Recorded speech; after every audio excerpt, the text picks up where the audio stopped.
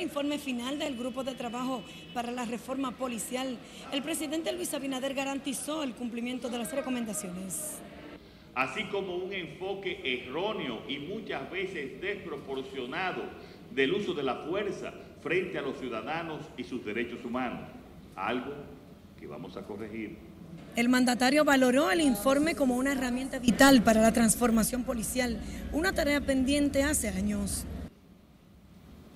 Nuestro objetivo es la estructuración de un cuerpo policial de proximidad al ciudadano, que sea garantista de los derechos fundamentales y en el que sus miembros entiendan verdaderamente cuál es su papel frente a la ciudadanía. Para ello dispuse la creación mediante decreto de este grupo de trabajo para la transformación y profesionalización de la Policía Nacional, con una importante representación de diversos sectores de la sociedad dominicana. La transformación priorizará la formación y capacitación de sus miembros, mejora salarial y actualización tecnológica.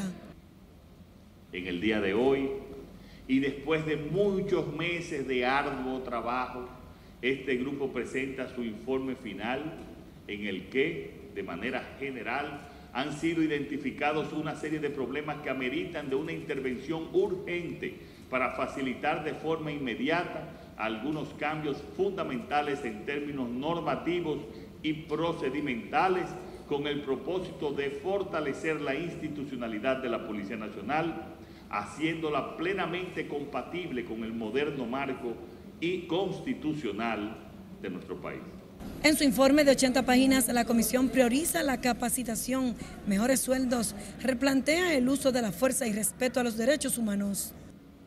Un régimen de control, especialmente de tipo externo.